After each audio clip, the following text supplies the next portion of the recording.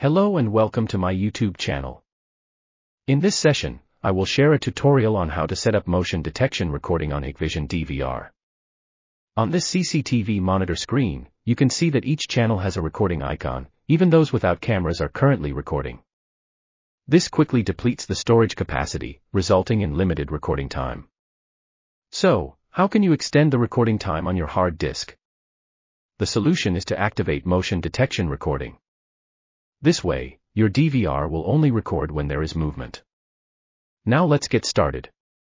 Firstly, access the DVR menu by right-clicking on the monitor screen and selecting the Menu option. Enter the password or pattern when prompted. To begin the configuration, go to the Configuration menu and select Event.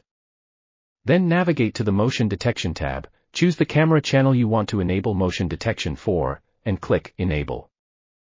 Once enabled, click on Draw Area to define the area for motion detection. Draw the desired area, and then click Apply. If you want to enable it for other camera channels, click Copy to, select all channels, and click OK to confirm. Finally, click Apply to ensure the changes are applied. Next, go to the Record menu. By default, your Hikvision DVR records in continuous mode, which means it records 24-7.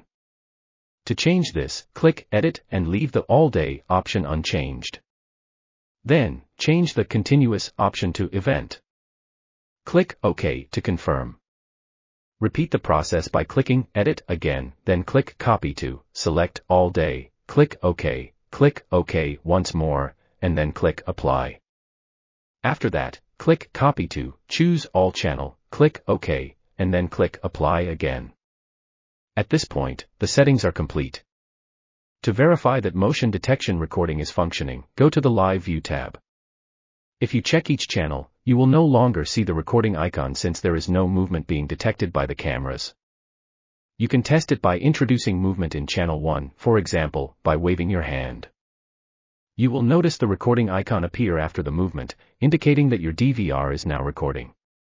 With this setup, your DVR successfully performs motion-based recording. That's it.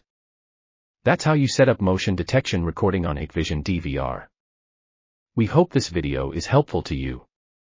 If you have any questions, feel free to ask in the comments section below. Please remember to subscribe to my channel, give it a thumbs up, and share it with your friends on social media. Thank you for watching, and see you in the next video.